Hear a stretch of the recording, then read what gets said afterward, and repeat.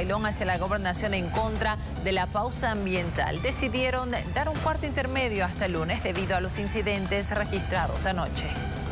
Con el objetivo de evitar un posible enfrentamiento, la policía a través del subcomandante departamental coronel Walter Miranda se trasladó hasta el municipio de Cotoca para evitar que la marcha de los campesinos continúe hacia la capital cruceña acá conversando con ellos para que ellos puedan evitar de querer continuar esta marcha allá. Nosotros hemos tenido ya resultados uh, funestos en la noche de ayer y entonces por ello es de que estamos uh, indicando de que vamos a evitar de que esta marcha pueda llegar allá y que ellos entren en conciencia. El bloque de campesinos de la Chiquitania se reunieron por algunas horas con los dirigentes que los representan, donde finalmente determinaron un cuarto intermedio en la medida de presión que habían iniciado la mañana de este jueves. Estamos haciendo un cuarto intermedio, ¿no? Y, pero seguimos en estado de emergencia. Estamos en estado de emergencia, eh, nos sentimos fortalecidos porque ha sido un éxito hasta el momento la marcha que hemos realizado hemos conseguido los, objetivos, que es nuestras autoridades nacionales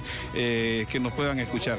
Roberto Arias, ejecutivo de la Federación Regional de la Chiquitania, informó que no se busca la anulación total de la Ley 181 que establece una pausa ecológica, sino la derogación de algunos artículos. No estamos en contra de, la pausa ambiental, no solamente queremos que se eh, anulen algunos decretos que van en contra del sector campesino.